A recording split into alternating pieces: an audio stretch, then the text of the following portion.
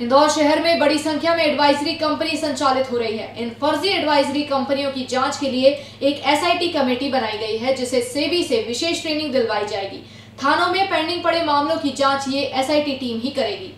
इंदौर शहर में कई फर्जी एडवाइजरी कंपनियों पर पुलिस कार्रवाई कर चुकी है। हाल ही में विजयनगर पुलिस ने एक फर्जी एडवाइजरी कंपनी को पकड़ा था, जिसमें पाँच लोग गिरफ़्तार हुए थे। जाँच में इनके पास से करीब डेढ़ दर्जन बैंक खातों की जानकारी भी पुलिस को मिली थी। इसमें 14 करोड़ रुपए का ट्रांजैक्शन मिला था। ऐसे मामलों को देखते हुए एसआईटी टीम का गठन किया गया है। एसपी आशुतोष बागरी ने बताया कि इसमें टीआई देवेंद्र मरकाम एसआई गुलाब सिंह रावत, सिपाही राजेश जोशी और दुष्यंत राठौर रहेंगे। इस टीम को सेबी से बकायदा ट्रेनिंग भी दिलवाई जाएगी। तो जो पुराना कभी चिटफंड हुआ करता था, उसका ये नया रूप जो है इन्वेस्टमेंट एडवाइजरी के रूप में देखने को मिल रहा है इंदौर में।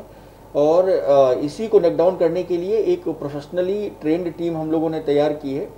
और जो कि इस तरह की जितनी भी शिकायतें हैं, हमारे पुलिस के पास में विभिन्न थानों में लंबित हैं, चूँकि वो शिकायतें ऐसी जिनमें कि एक्सपर्ट नॉलेज की ज़रूरत होती है, विशेष ट्रेनिंग की ज़रूरत होती है।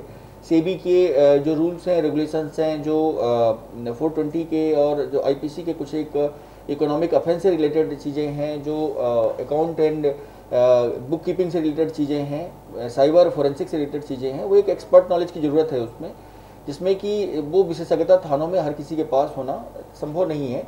इसलिए हम लोगों ने ये डिसाइड किया कि जितनी भी शिकायतें हमारे थानों में लंबित हैं इन्वेस्टमेंट एडवाइजरी से रिलेटेड वो सारी शिकायतें एक जगह पे एक एक्सपर्ट टीम को दे दी जाएँगी, जो कि उसकी निष्पक्ष और व्यवस्थित तरीके से जाँच करेंगे।